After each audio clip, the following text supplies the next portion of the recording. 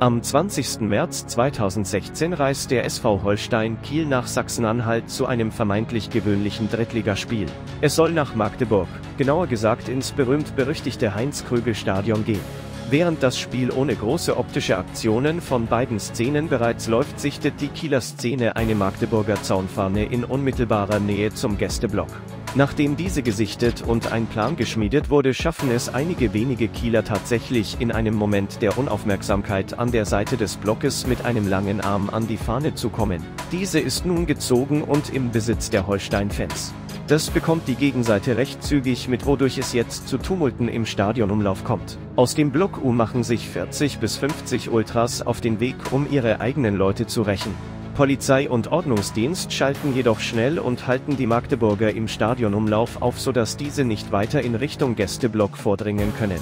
Laut einem Medienbericht gelingt es sogar dem Ordnungsdienst, die zuvor gezogene Zaunfahne zurückzuholen, was die Gemüter der FCM-Anhänger beruhigt. Denkend, dass die Sache nun geklärt sei, macht sich der kleine Szenemob aus Kiel nach Spielende wieder auf den Weg in den hohen Norden. Dabei nutzen die Holstein-Fans den Zug und fahren auch über den bekannten Bahnhof Stendal. Dort warten tatsächlich knapp 100 Magdeburger, für welche die Aktion aus dem Stadion doch noch nicht geklärt war.